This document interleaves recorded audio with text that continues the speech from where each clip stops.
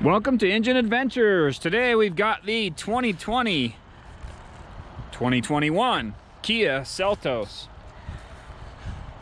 This is all new for this year, as in this car didn't exist before.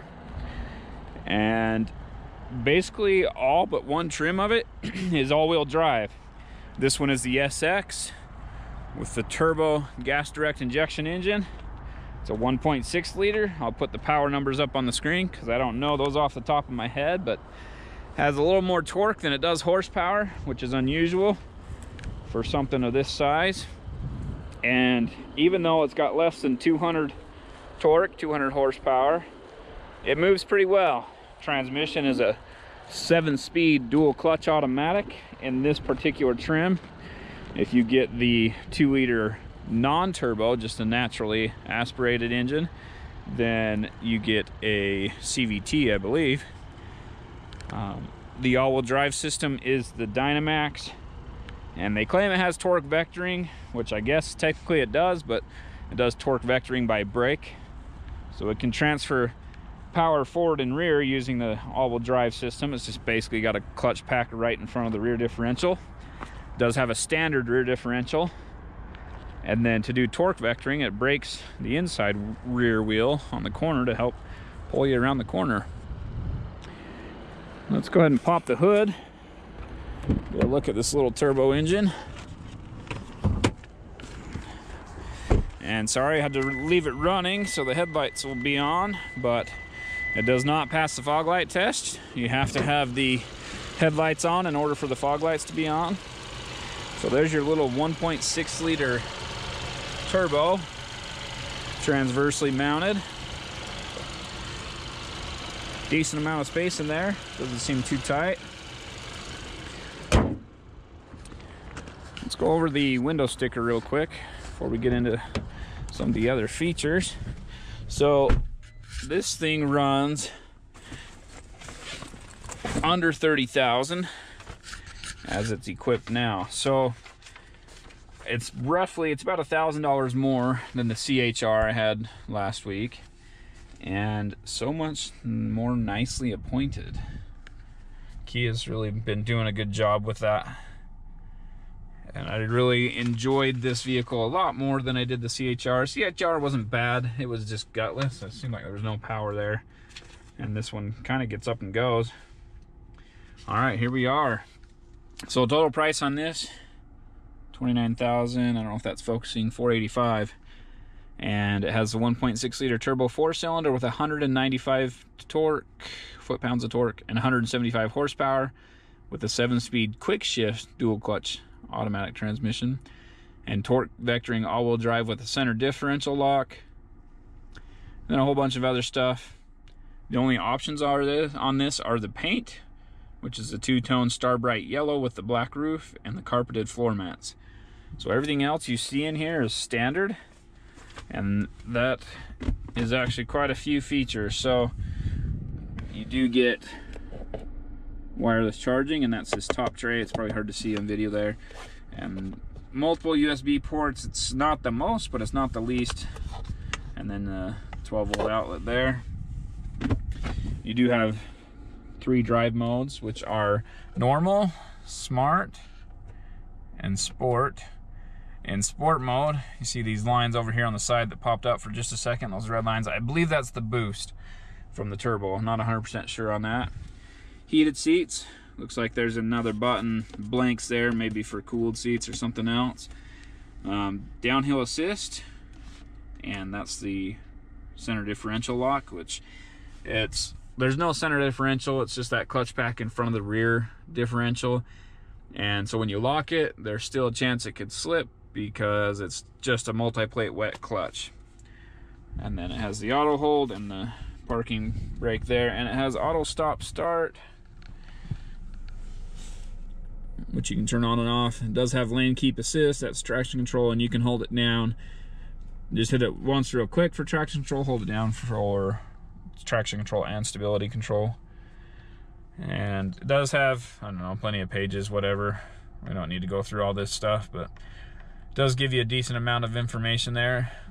I like the screen. I mean, it does stick up out of the dash, but it doesn't block your view of the windshield at all. It's a nice clear screen. The rear view camera is really clear. It's not bad at all. And the audio, it's a Bose audio system. It sounds pretty good. Looks like someone went through and punched all the speakers, but that's just their design. They have that little, I don't know, triangular look all over it. No sunroof or anything in this particular trim, but that's great for me. I'm not a huge fan of those anyway. The small center armrest, there's just empty in there. Uh, no USB ports or anything else in there. Let's go ahead and climb in the back.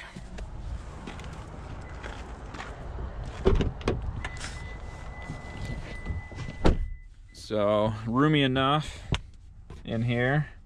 When you leave with the key, it'll turn off the vehicle in a half an hour, which is interesting.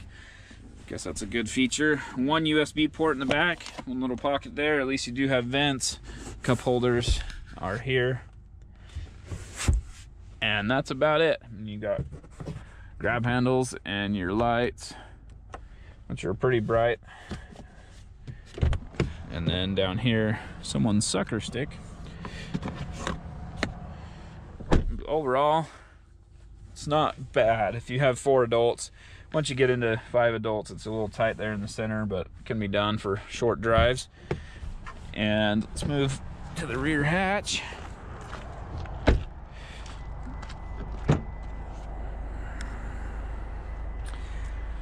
So it has this cover, easy to remove, just pop that off. And just a big open basic cargo area. I'm not sure what this step here is for. I imagine there's some sort of shelf or something you can put in there, or maybe it's you pull this out and put it up there on top. I'm not sure. So there's your spare tire, and you pull this cover all the way out to get to it. And there's a little bit of storage under there. Um, maybe throw your set of jumper cables and I don't know, uh, a couple tools or whatever down in there. Not a ton. And then when you fold these seats, the lever's up here on the top, and it's much easier from the, the second row to do. But you can see they're not flat. So there's a step there about a little under six inches. So you don't have a flat load floor. There's no folding those seats and laying in the back comfortably, um, fitting bigger items. Like I said, this does come all the way off. So you can get that out of your way if you have bigger, taller items, but still, there's not a ton of space there with that bump in the middle. It does have that little roof rack, but you don't get any cross members.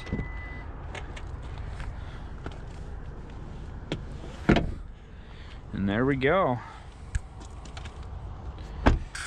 For this next clip coming up, I'm trying to test out the torque vectoring system. So as you corner, it should brake the inside rear wheel to help pull you around the corner a little better, and that's what I'm testing here. I just want to make that clear before we move into the next clip. So we'll guide through here a little bit fast. Looks like I'm pretty good on the angles here. Yeah, we're good. So and it starts to slide and then pulls it in. Starts to slide. I didn't really feel it pull it in as much on that. Maybe it's the sport mode, it does less aggressive with the braking. Let's try one more here.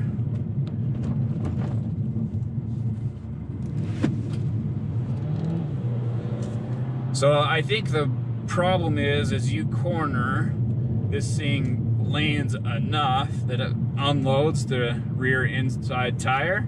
And so even though it can apply the brake to help with torque vectoring on that rear inside wheel, it's kind of lifting a little bit and unloading it.